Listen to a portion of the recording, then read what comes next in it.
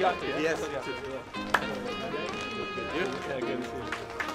Matt, good to see you in Arnhem. How are you? Yeah, I'm good. I'm very good. I'm very glad to be back. Uh, had a lot of good memories here in the in Vitesse, and uh, yeah, hopefully we can uh, win the game today. And and it was good to see all the fans and everyone involved in the club uh, and say hello again. I want to thank everyone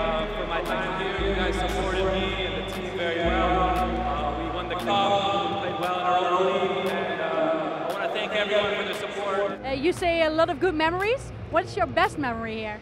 Yeah, I think the best memory is probably for everyone when, when we won the KNVB Beker Cup uh, against AZ. So that was an amazing moment for the club and, and for myself as well. Um, but honestly, every year we, we've, we've played good football. We've achieved some good some good things in, in Europa League, uh, the Cup, uh, some good places in the league we finished.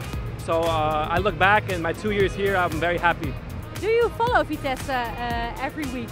Yeah, I still do. Uh, whenever I go on live score, I always check the Eredivisie and I check uh, how Vitesse has done and who's playing and, and everything. So I'm still a fan of Vitesse and I'm hoping they do very well in the league.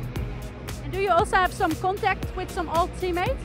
Yeah, I actually do. So uh, with Guram Kashia, I still keep in touch. With Milot Rashica, with uh, Navarone Foor, and with Mason Mount, I'm still very good friends with. I saw him last week. So I still have good contact with a lot of, with a lot of players here.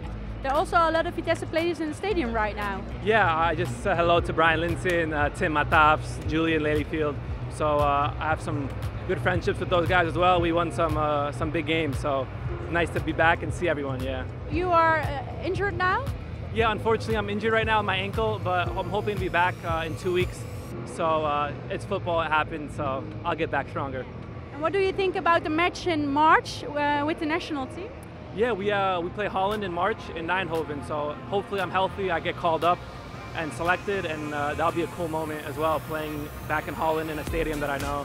So we'll see what happens. Hier is de hoekschop van Buutner. En een goede kopbal en die zit erin. Miaska en dan de bal in de kluts achter Jensen. Het staat 0-2. Utrecht jaagt op de gelijkmaker, maar Vitesse scoort.